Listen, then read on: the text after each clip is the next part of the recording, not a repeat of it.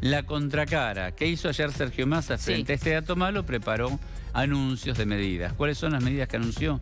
Tenemos una placa, tiene que ver Congelar, no. con... No, Congelar, congelar, no, congelar. no, tiene que ver con productos de la canasta básica y con préstamos.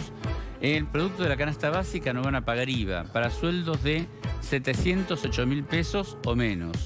Esas personas cuando compran con la tarjeta de débito Sí. tienen que ir con tarjeta de débito a comprar. Con tarjeta de débito. ¿Y cómo lo controlan que, que sean las personas que ganan menos de... Que, que te Sinceramente no lo sé, pero intuyo, intuyo que es la información que surge de la cuenta bancaria. La FIP lo puede hacer porque tiene base Por eso, pero cuando vas al comercio ellos tienen ese dato. ¿no? 48 horas, no, no, no. Vos vas al comercio, el comercio y vos pasás la tarjeta de débito.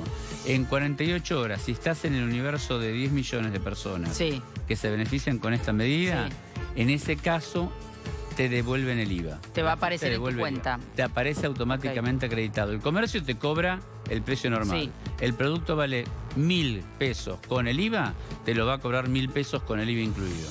Después te lo van a reintegrar a tu cuenta.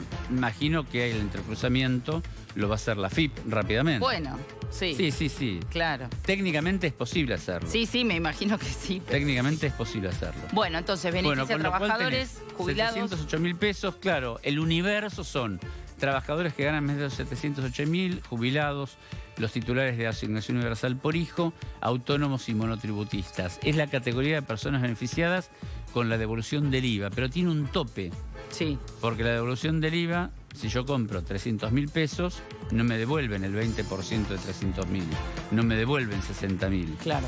El tope es 18 mil pesos por mes. 18.800 pesos por mes es el tope de devolución. Esto con la reglamentación actual. Pero además van a mandar un proyecto de ley al Congreso Sí, y por la aplicación de los índices que están escritos en el proyecto de ley, ese tope va a subir en vez de 18.000 a 23.000. No mucho más, pero es algo. La intención es dejarte un poco más de dinero en el bolsillo sí, sí.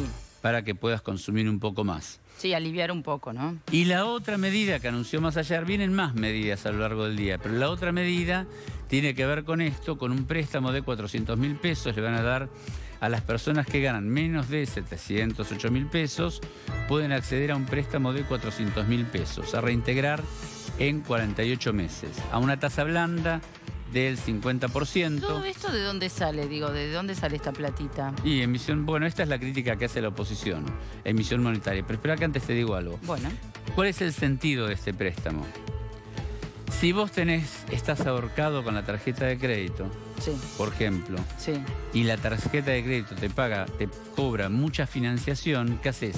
Sacás el préstamo, con esto pagás la tarjeta de crédito, liquidás la deuda y después pagás en tasa blanda la devolución de este crédito. Ese es el razonamiento.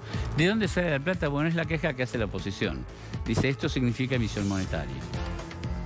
Significa emisión monetaria porque de alguna parte tenés que compensar este dinero que, se, que deja de recaudar el Estado y además porque es dinero que se inyecta en la economía y entonces eso, dice la oposición, va a retroalimentar la inflación. Si vos tenés más dinero circulando, Claro, más inflación. Bueno, del lado del gobierno te dice algún, hay que hacer que la gente la pase mejor porque la está pasando mal. Entonces le damos estos beneficios. Bueno, ¿eh? gracias, Ventura.